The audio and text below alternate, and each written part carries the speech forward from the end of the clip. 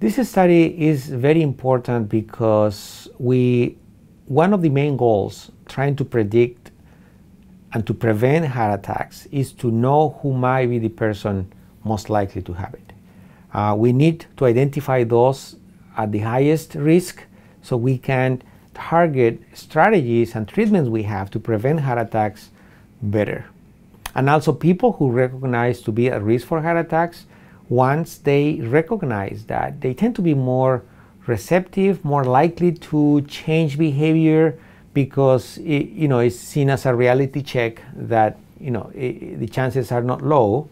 and therefore um, patients or people feel more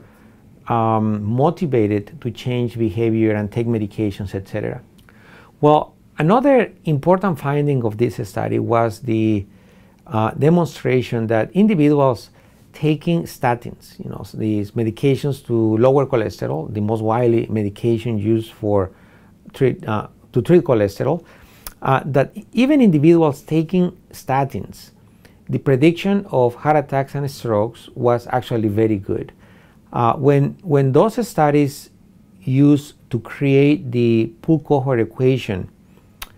uh, were performed, those studies were performed before statins became widely available. So those individuals included in the original creation of this pooled cohort equation or tool, uh, very few were actually taking statins, and therefore, you know, you wondered if taking a cholesterol lowering medication might actually change the, the prediction of heart attacks or the accuracy of the tool. And it turns out that it doesn't really affect that at all. Uh, if a patient is taking statins and you calculate the risk, it will be as accurate as if the person wasn't taking cholesterol lowering medications. In 2013, the American Heart Association, American College of Cardiology, gave us a very important uh, uh, equation called the pooled cohort equation. The pooled cohort equation is supposed to,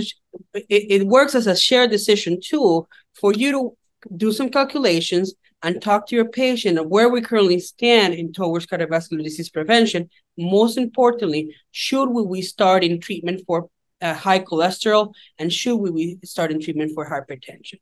Um, so um, the main purpose of the study was to validate in our community, and I, I can explain what that community is, uh, how well did the pooled cohort equation perform? That was the main study, uh, main reason, main aim of the study. And we did some very interesting analysis where we demonstrated that if you have data that was outside of the ranges that the equation normally accepts as valid, then the, the equation is actually very good at predicting as well. So, long story short, if you are 82 years old or maybe 29 and you're trying to get, or um, if your cholesterol, your systolic blood pressure is above 200, which is the range, it's very high and it's above 200, which is the range that the uh, that the equation takes, or your cholesterol is above uh, of that, using those numbers or uh, using those numbers will give you enough good enough information to um, to actually predict.